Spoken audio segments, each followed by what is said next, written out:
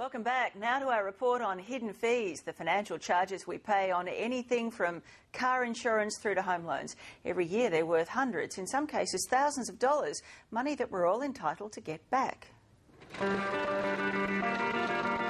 been receiving $1,000 plus for the last uh, three or four years. It's not going to make you rich, but boy, it's your money and it's better in your pocket than theirs. It's the trail of checks helping investors grab the finance industry's trailing fees by the scruff of the neck. Trailing commissions are hidden and they're hidden quite well, but they're virtually found on almost any financial product. And the fees rake in millions of dollars a year for brokers.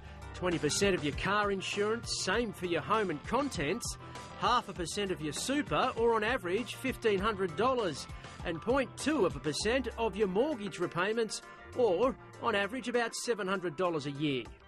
To be paying fees for something that you're not getting was. Uh, it was a big surprise, yes. Robert Paterse paid a fee to his superannuation broker for 10 years, but never heard from him.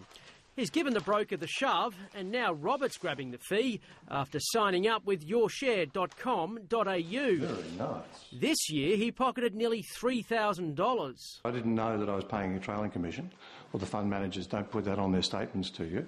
And so I was, I was surprised. I had no clue. And I think most people don't re- realise on insurance and investments, uh, this, is, this is what's happening. Good morning, YourShare. And it's been happening for years, but no one knew how to wrestle back the money. Until people like YourShare came along.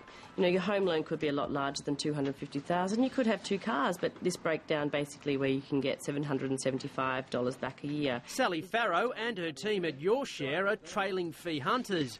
She says nearly $1.5 million in trailing fees has been returned to YourShare customers in five years. We are also a broker, but we're the good guys. We give the money back to our clients. YourShare pocket a broker's fee of $295 and the rest is yours. But it can't be backdated. Here's an example on a home loan where the cashback can reach as high as 1600 bucks a year. And it could be more if YourShare manage your super, car and home insurance. It's pretty straightforward, but Effie Zahos of Money Magazine says think first before racing off to join a trailing fee hunter. Yeah, it's important to understand whether you go to YourShare, iRefund, or whatever rebate service provider out there, you are nominating them as your broker. So if you were happy with your broker to start off with, if they're calling you and giving you great service, hopefully they've also saved you money in the in the first place, then maybe you need to consider are you better off switching brokers? I believed I did not need financial advice, so I made the decision myself to change to a organisation like YourShare, where the financial advice was not given, but the money was returned to me. Terry Collins works in the finance industry, and even he didn't know how much he was losing each year to a broker who did nothing more than sign him up. We promote good practice in the finance industry, and uh, this is good practice. It's also a great opportunity for people to uh, to get some money. Yeah, look, how bad are we going as Australians? There's around about six million lost accounts and over five billion dollars in lost super. Jeff Bresnahan from SuperRatings says trailing fees are attached to that mountain of lost superannuation.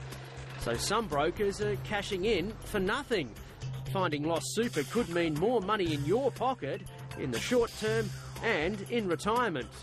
When it comes to negotiating your mortgage, if you can get half a percent off your mortgage, you'll be, yeah, I'll take that immediately. It's the same thing with your super. Don't lose control of it. You know, don't be paying excessive fees and don't let it get lost because you'll, you'll struggle to find it down the track. And the federal government has announced a crackdown on those hidden charges. It kicks in from July next year and will apply to all new products. More information on that story at our website.